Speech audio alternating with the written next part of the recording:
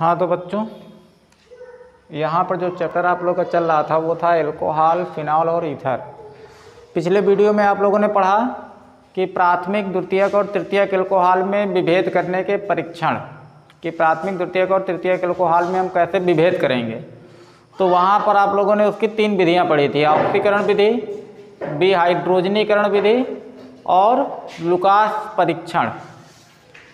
अब आगे हमको इस चैप्टर में पढ़ना है कि जो एल्कोहल थे वो कितने प्रकार के थे? तीन प्रकार के। मोनोहाइड्रिक एल्कोहल डाईहाइड्रिक एल्कोहल और पॉलीहाइड्रिक एल्कोहल तो मोनोहाइड्रिक एल्कोहल तीन प्रकार के होते हैं। प्राथमिक, द्वितीयक और तृतीयक। तो उसमें विभेद करने के परीक्षण हो गए हैं। अब हमको पढ़ना है इसमें। मोनोहाइड्रिक एल्कोहल को मोनो हाइड्रिक एल्कोहल को बनाने की सामान्य विधियाँ। मोनोहाइड्रिक एल्कोहल को बनाने की सामान्य विधियाँ।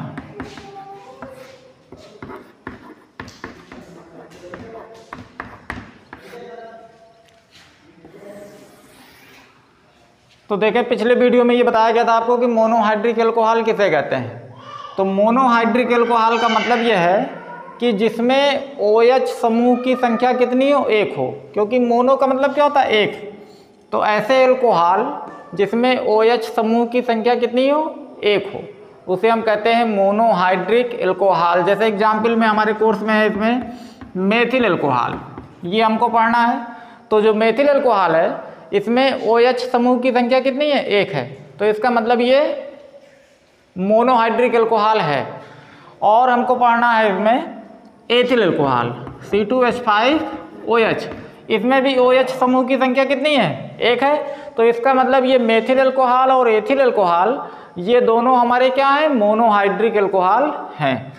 और मोनोहाइड्रिक एल्कोहल को सामान्य सूत्र में हम लिख सकते हैं आर ओ एच तो आर का मतलब क्या हो गया? आर का मतलब हो गया एल्किल समूह। तो यहाँ पर मेथिल एल्कोहल है तो आर के स्थान पर क्या लग गया? मेथिल और चूँकि ये एथिल एल्कोहल है तो यहाँ आर के स्थान पर क्या लग गया? एथिल ग्रुप लग गया ये। एथिल मूलक लग गया। यहाँ भी ओ OH कितना? एक। और यहाँ भी ये OH कितना? एक। तो इसका मतलब ये मेथिल अल्कोहल और जो एथिल अल्कोहल है, ये दोनों मोनोहाइड्रिक एल्कोहल हैं। तो हमको यहाँ पर यही पढ़ना है कि मोनोहाइड्रिक एल्कोहल को बनाने की सामान्य विधियाँ कौन कौन सी हैं? तो सबसे पहली विधि जो मोनोहाइड्रिक एल्कोहल को बनाने की है तो मोनोहाइड्रिक एल्कोहल का सामान्य फार्मूला क्या होगा? आर ओ एच आर का मतलब है कोई भी एल्किल समूह और ओ एच समूह की संख्या कितनी हो? एक हो। तो वो मोनोहाइड्रिक एल्कोहल है। इसको हमको पढ़ना है रेस्पेक्ट में मेथिल एल्कोहल और एथिल एल्कोहल के रेस्पेक्ट में। तो जैसे मोनोहाइड्रिक एल्कोहल को बनाने की जो पहली विधि है, वो है alkyl halide. Alkyl halide. Alkyl halide का सूत्र क्या होगा? Are x. एल्किल हैलाइड के जल अपघटन द्वारा। जल अपघटन द्वारा।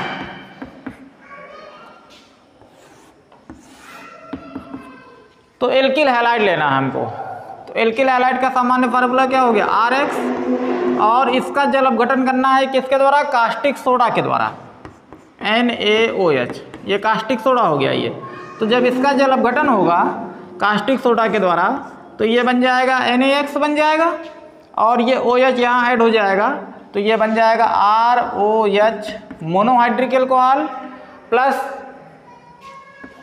N A X अब अगर इस अभिक्रिया को हमको मेथिल अल्कोहल के रेस्पेक्ट में पढ़ना है, ये मेथिल अल्कोहल बनाना है तो यहाँ पर हम क्या कर देंगे? इलेक्ट्रिक हेलाइड में यहाँ पर मेथिल कर देंगे और एक्स के स्थान पर चाहे क्लोरीन कर दिया जाए, चाहे ब्रोमीन कर दिया जाए, चाहे आयोडीन कर दिया जाए। मान लिया हम करते हैं मेथिल क्लोराइड तो ये हो जाएगा C S three C L और यहाँ पर caustic soda N A O H तो ये O H C S three में जुड़ जाएगा तो यहाँ पर हो जाएगा C S three O H और एन ए सी एल ये बन जाएगा मेथिल अल्कोहल बन जाएगा। अगर हमको इसी अभिक्रिया में एथिल अल्कोहल बनाना है तो यहाँ पर एथिल कर देंगे सी टू एच फाइव और यहाँ एक्स के स्थान पे मान लीजिए हमने कर दिया ब्रोमीन तो ये हो जाएगा C two H five B R ethyl bromide और कास्टिक सोडा से अभिक्रिया होगी एन ए ओ एच से। तो यहाँ पर एन ए बी आर बन जाएगा, और यहाँ पर बन जाएगा C two H five O H तो ये पहली अभिक्रिया है कि मोनोहाइड्रिक एल्कोहल बनाने की सामान्य विधियों में पहली अभिक्रिया जो है वो है एल्किल हैलाइड के जल अपघटन द्वारा। तो एल्किल हैलाइड का जल अपघटन किसके द्वारा करना है? कास्टिक सोडा के द्वारा करना है। और जब कास्टिक सोडा के द्वारा जल अपघटन करेंगे हम तो यहाँ पर मोनोहाइड्रिक एल्कोहल बनेगा। अब मेथिल और एथिल एल्कोहल बनाना है तो यहाँ मेथिल कर देना है। और एथिल एल्कोहल बनाना है तो यहाँ पर हमको एथिल कर देना है। दूसरा है दूसरा भी इसी प्रकार से है सेम दूसरा नंबर है एस्टर। तो एस्टर का सूत्र क्या होता है? R C double O R या इसको हम ये भी कर सकते हैं R C double O R dash ester के जल अपघटन द्वारा। एस्टर के जल अपघटन द्वारा। तो एस्टर, ये मोनोकार्बोक्सिलिक अम्ल का क्या है? व्युत्पन्न है। एस्टर किसे कहते हैं? एस्टर का मतलब ये हुआ, जैसे लेना है मोनोकार्बोक्सिलिक अम्ल। मोनोकार्बोक्सिलिक अम्ल का फार्मूला क्या होगा? R C double O H. और इसमें से इस हाइड्रोजन परमाणु को क्या करना है? निकालना है, प्रतिस्थापित करना है। और किसके द्वारा प्रतिस्थापित करना है? किसी भी एल्किल समूह के द्वारा, आर के द्वारा। तो यहाँ पर जब इस हाइड्रोजन को निकाल देंगे और यहाँ पर आर ग्रुप प्रवेश कर जाएगा तो ये बन जाएगा R C double O R तो ये हो गया एस्टर। तो ये एस्टर जो है, ये मोनोकार्बोक्सिलिक अम्ल का क्या है? व्युत्पन्न है। मोनोकार्बोक्सिलिक अम्ल से बना हुआ एक व्युत्पन्न है उसका ये। और अगर ये एल्किल समूह, इसी एल्किल समूह के समान होगा तो इस एस्टर को बोलेंगे R C double O R, और ये एस्टर हमारा होगा सरल एस्टर। क्या होगा ये? सरल एस्टर। और अगर मान लीजिए, यहाँ पर जो एल्किल समूह है, उससे अलग वाला एल्किल समूह यहाँ पर आ गया। यानी कि इसको हम कर दें आर डैश। जैसे मान लें, अगर ये मेथिल है, और यहाँ पर इस यश को निकाल दिया हमने किसके द्वारा? एथिल के द्वारा। तो यानी कि ये वाला ग्रुप अलग हो गया, और ये वाला ग्रुप क्या हो गया? अलग हो गया।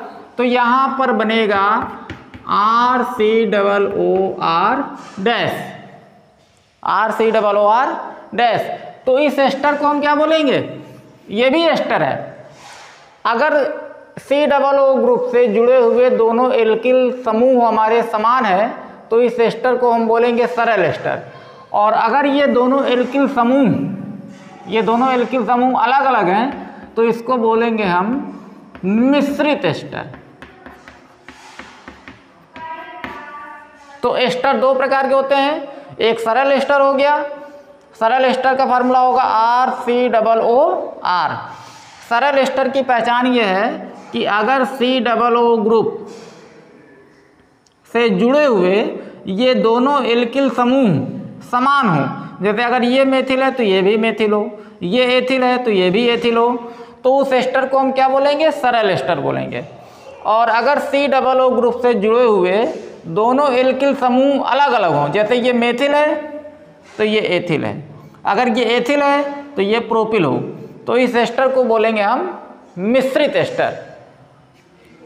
तो एस्टर जो है, ये मोनोकार्बोक्सिलिक अम्ल का बना हुआ व्युत्पन्न है। तो एस्टर का हमको क्या करना है? जल अपघटन करना है। तो जैसे एस्टर लिख दिया हमने R C double O R और जल अपघटन किसके द्वारा करना है? इसी कास्टिक सोडा के द्वारा करना है।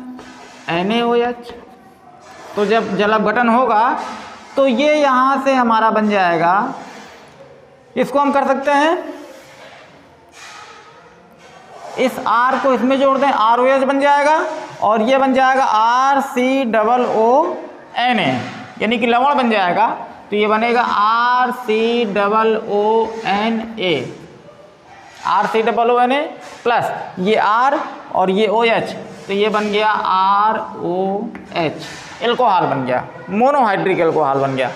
जैसे अगर हमको मेथिल अल्कोहल बनाना है तो यहाँ पर इसको एग्ज़ाम्पल के तौर पर हम ले सकते हैं। चलें C H three C double O C H three इसका नाम है, इस एस्टर का नाम है मेथिल एसिटेट ये एसिटेट ग्रुप है तो इसका नाम हो गया मेथिल एसिटेट और कास्टिक सोडा से अभिक्रिया होगी एच तो ये मेथिल समूह इसमें जुड़ जाएगा तो ये C H three O H हो जाएगा, और यहाँ जो लवण बन जाएगा, ये बन जाएगा C H three C double O N A sodium acetate हो गया, और लवण हो गया हमारे, जो एल्कोहल बना, वो बना मेथिल एल्कोहल अगर यहीं पर हमको एथिल एल्कोहल बनाना है तो इसको हम कर देंगे सी टू एच फाइव तो ये हो जाएगा एथिल एसिटेट और एन से क्रिया होगी तो यहाँ पर भी सी टू एच फाइव हो जाएगा C two H five O H और यहाँ पर बन जाएगा C H three C double O N A ये लवण। है तो ठीक है मोनोकार्बोक्सिलिक अम्ल के बनाने, ये मोनोहाइड्रिक एल्कोहल को बनाने की दो विधियाँ आपने इस वीडियो में पढ़ा। अब इसके बाद का जो बनाने की विधियाँ हैं, वो नेक्स्ट वीडियो में होगा